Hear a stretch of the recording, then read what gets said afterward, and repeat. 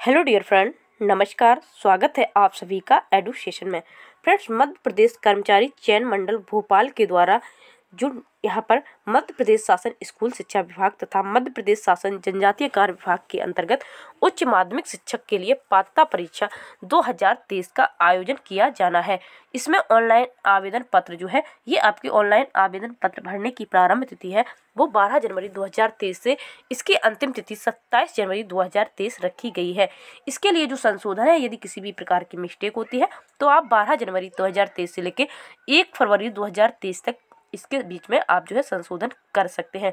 परीक्षा दिनांक वाला जो दिन है, वो एक मार्च 2023 बुधवार से प्रारंभ होके जो है इसकी परीक्षा कई शिफ्टों में होगी, कई दिनों तक जो है परीक्षा जो है ये इसकी चलेगी। इसके लिए जो शुल्क है जो अनारक्षित अभ्यर्थियों के लिए, फ्रेंड्स बता दें जो एमपी के मूल निवासी नहीं है, अदर स्टेट से फॉर्म अप्लाई कर रहे हैं, वो भी अब चाहे किसी भी कैटेगरी से है।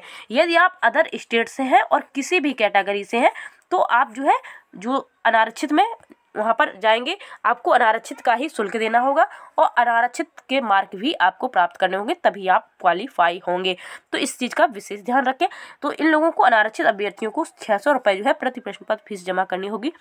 वहीं पर अनुसूचित जाति, अनुसूचित जनजाति, अन्य पिछड़ा वर्ग, निशक्त जन अभ्यर्थी जो केवल के मूल निवासी है मध्य प्रदेश के, उनसे तीन सौ रुपये प्रति प्रश्न पत्र जो है वो शुल्क जमा करना होगा।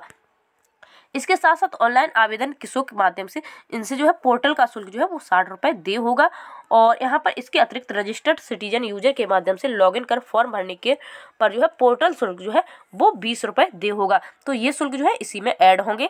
तो इस चीज़ का आप ध्यान रखें।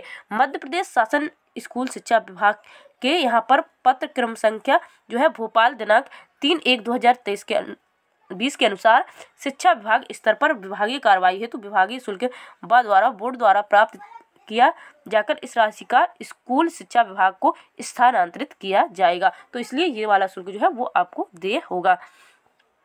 परीक्षा दिनांक व दिन जो है एक मार्च 2023 बुधवार से प्रारंभ हो जाएँगी और परीक्षा जो है वो दो पालियों में होंगी।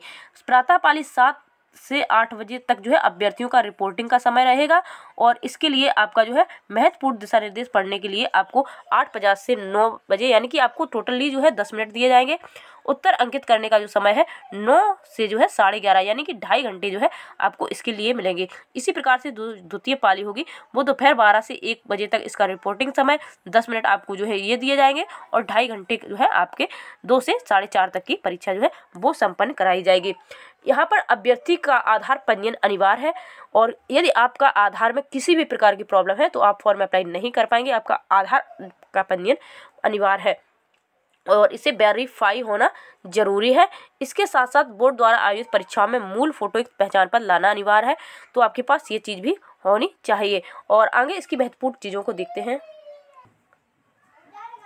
शिक्षक पात्रता परीक्षा में अहर होने के लिए न्यूनतम अंकों का प्रतिशत जो है, वो उच्च माध्यमिक शिक्षक के लिए आपको अनुसूचित जाति, जनजाति, अन्य पिछड़ा वर्ग, दिव्यांगजन, आर्थिक रूप से कमज़ोर वर्ग के हैं और एमपी के मूल निवासी हैं तो आप 50 परसेंट। यदि आप अन्य कैटेगरी से हैं और अदर स्टेट से हैं तो आपको 60 परसेंट अंक लाने पर ही आप इसके लिए जो है क्वालिफाई होंगे। इसके लिए जो है आप प्राप्तांक पाके जो है न्यूनतम प्राप्तांक आपको इतना जो है प्राप्त करना है। ये चीज़ भी आप जो है समझ लें एक बार।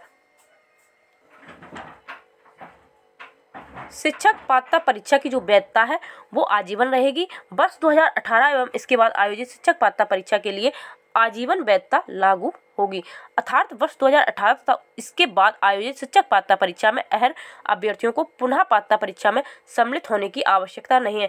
यदि मतलब आप आप चाहे तो दे सकते हैं, लेकिन आपका जो सर्टिफिकेट है, वो आजीवन वैलिड हो जाएगा।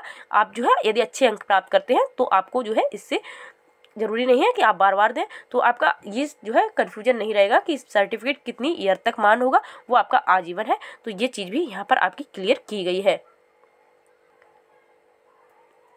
ऐसे अभ्यर्थी जो अनुसूचित जाति, अनुसूचित जनजाति अन्य पिछड़ा वर्ग आर्थिक रूप से कमज़ोर प्रवर्ग अथवा दिव्यांग श्रेणी के हैं, किंतु उनके पास मध्य प्रदेश के सक्षम अधिकारी द्वारा जारी वैध प्रमाण पत्र नहीं है तो ऐसे सभी कैंडिडेट जो न्यूनतम अहर अंक है, इसके लिए आप जो है अनारक्षित प्रवर्ग के अभ्यर्थियों में मान होंगे। आपको जो है छूट नहीं मिलेगी तो इसके लिए आपको वैध प्रमाण पत्र लगाने की ज़रूरत है। इसलिए आपको पहले से प्रमाण पत्र जो है आपके पास होना ज़रूरी है, तभी आप इसके लिए योग्य होंगे, आपको इसका जो है लाभ दिया जाएगा। शिक्षक पात्रता परीक्षा में भाग लेने हेतु अभ्यर्थियों को 1 जनवरी 2023 को 21 वर्ष की आयु पूर्ण करना जो है ज़रूरी है, तभी आप इसके लिए अप्लाई कर सकते हैं। और यहाँ पर देखते हैं जो भी महत्वपूर्ण चीज़ें हैं, उन सारी चीज़ों को देख लेते हैं। जो आपकी मूल्यांकन पद्धति है तो वो क्या रहेगी? तो प्रश्न की संरचना जो है ये त्रुटि प्रश्न के लिए है कि जो, यदि आप जो है अंक बदले जाते हैं तो उसके लिए है यहाँ पर। और ये आप जो है मूल्यांकन पद्धति एक बार देख लीजिए। विभागीय नियमों के अनुसार प्रत्येक प्रश्न जो है एक अंक का होगा, ऋणात्मक मूल्यांकन होगा, प्रति चार प्रश्नों के गलत उत्तर पर एक अंक काटा जाएगा। तो निगेटिव मार्किंग है आपके एग्ज़ाम में वन अपॉन फोर की। तो इस चीज़ का भी आपको जो है विशेष ध्यान रखना है। यदि आप चार क्वेश्चन गलत करते हैं तो आपका एक नंबर काटा जाएगा। आगे देखते हैं महत्वपूर्ण जो चीज़ ऑनलाइन आवेदन पत्र के साथ अभ्यर्थियों को कलर, फ़ोटो, हस्ताक्षर एवं स्वयं की हस्तलिपि को प्रपत्र प्रारूप एक के अनुसार स्कैन कर कर संलग्न करना होगा। तो इस चीज़ का विशेष ध्यान रखें। ऑनलाइन आवेदन पत्र में आवेदक को जन्म तिथि के प्रमाण पत्र यथा दसवीं या अथवा बारहवीं की जो अंक सूची है, वो स्कैन करवाकर संलग्न करना होगा।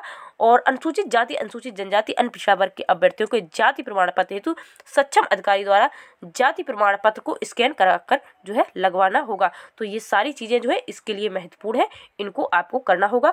ऑनलाइन आवेदन पत्र के साथ फ़ोटो एवं हस्ताक्षर संलग्न करने के जो दिशा निर्देश है, उनको भी देख लीजिए। जिस जो है, ऑनलाइन आवेदन पत्र के साथ अभ्यर्थी का कलर फ़ोटो, हस्ताक्षर एवं स्वयं की हस्तलिपि को प्रपत्र प्रारूप ज़ीरो वन अनुसार स्कैन कराकर संलग्न करना होगा, जिसमें फ़ोटो ऊपरी भाग में तथा हस्ताक्षर नीचे के भाग में होंगे। फ़ोटो फ़ोटो ऊपरी भाग में, हस्ताक्षर जो है वो नीचे के भाग में होंगे। फोटोग्राफ अच्छी गुणवत्ता एवं पृष्ठभाग जो बैकग्राउंड है, वो सफ़ेद होना चाहिए। पोलेराइड फोटोग्राफ मान नहीं होगा। अभ्यर्थियों का फोटोग्राफ सामने से खींचा हुआ हो, जिसमें अभ्यर्थी के दोनों कान भी स्पष्ट दिखाई दे रहे हों। तो इन चीज़ों का जो है ध्यान रखना है। फोटोग्राफ जो है, वो तीन माह से अधिक पुराना नहीं होना चाहिए। फोटोग्राफ पर खिंचवाने की दिनांक व आवेदन के नाम का स्पष्ट उल्लेख होना चाहिए। यथासंभव अभ्यर्थियों द्वारा आवेदन पत्र में जैसा फ़ोटो दाढ़ी में क्लीन सेव में लगाया गया हो तो परीक्षा हॉल में वैसे ही स्थिति में उपस्थित दर्ज करानी होगी। तो इस चीज़ का आप बहुत ही विशेष ध्यान रखें। जब आप फ़ोटो बनवाएँ तो आप जो है फ़ोटो के नीचे डेट और अपना साइन, इस प्रकार से कॉलम करके अपना फ़ोटो बनवाएँ और जो बैकग्राउंड होगा वो इसका जो है वाइट बैकग्राउंड के अंदर ही अपना फ़ोटो बनवाएँ। तो इस चीज़ का आपको विशेष ध्यान रखना है। तो फ्रेंड, जो भी महत्वपूर्ण अपडेट थी वो मैंने आपको यहाँ बता दी है। फिर भी आपको किसी भी प्रकार का कन्फ्यूज़न है तो आप कमेंट करके पूछ सकते हैं। Thank you